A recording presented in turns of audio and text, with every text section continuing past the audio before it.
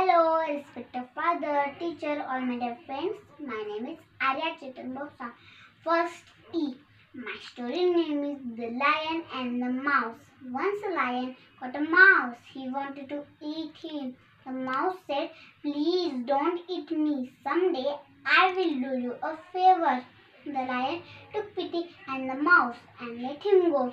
After a few days, the lion got caught in a hunter's net.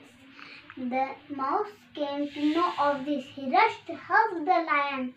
He bit the ropes of the net with his sharp teeth and set the lion free. Moral: No one is too small or too weak to help